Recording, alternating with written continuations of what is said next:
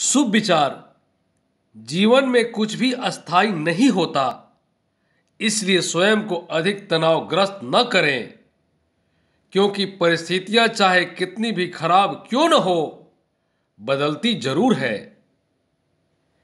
नमस्कार, मैं हूँ doctor Chhotelal Gupta, assistant professor, विभागाध्यक्ष, हिंदी विभाग, जमनीलाल महाविद्यालय। हाजीपुर वैशाली। आज के हिंदी क्लास में कवि सुमित्रा नंदन पंत की कविता ताज का भावार्थ सहित व्याख्या करूँगा। अब आप ध्यान से सुने। प्रकृति के सुकुमार कवि सुमित्रा नंदन पंत छायावादी कवियों में एक प्रमुख स्तंभकार हैं। उनकी कविता ताज मानवतावादी संवेदना के प्रति समर्पित है। परशुराम शुक्ल विरही ने लिखा है, पंत जी के जीवन दर्शन की परिधि का केंद्र बिंदु मानवतावाद है।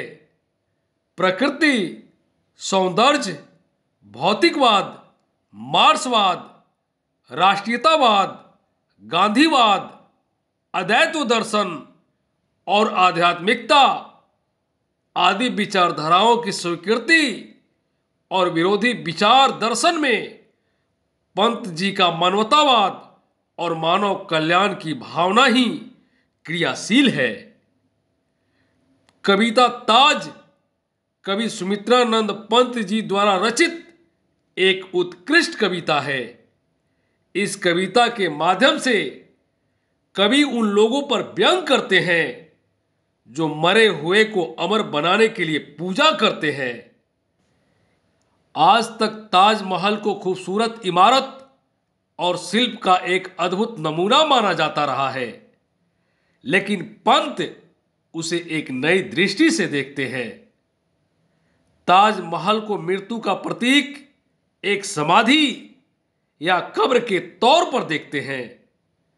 ताज निर्माण के कारणों को उचित न मानकर कवि अपना विचार व्यक्त करते हैं। मृतक के लिए संगमरमर की इतनी भव्य और बहुमूल्य इमारत बनाई गई है, जबकि संसार भर में ज़िंदा लोगों के पास रहने के लिए घर तक नहीं है। जीवित लोगों का जीवन कुरूप और भद्दा है। मृतकों को सजाया जा रहा है। कवि का मानना है कि मुर्दा लोगों को मुर्दों के बीच में ही रहने देना चाहिए और जीवित लोगों को हर प्रकार से मदद कर आगे बढ़ाना चाहिए। कवि का मानना है कि जब संसार में रहने वाले जीवित लोगों का जीवन विष भरा और दुखी है, निर्जीव, जर, चैतन्यहीन परा हो, ऐसे समय में मृत्यु के पीछे इतना बड़ा व्यय और पानी की तरह पैसा बहाना बिल्कुल न्याय संगत और उचित नहीं है।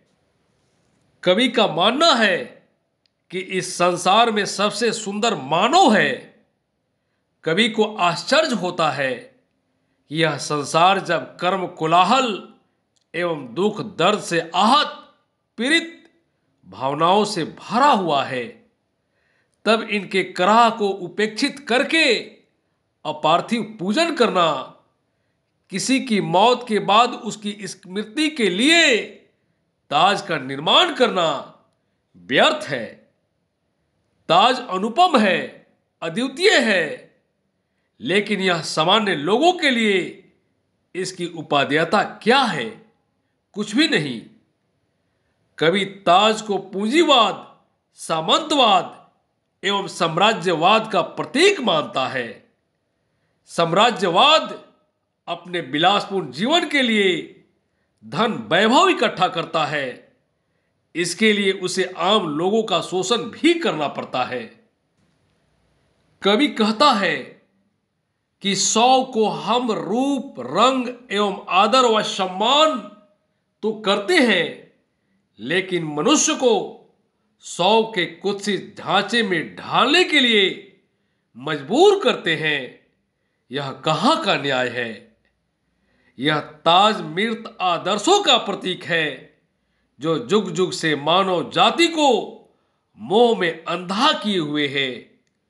भूख, दुख, दर्द एवं पीड़ा से आहत मानव जाति आज पतन की ओर उन्मुख है।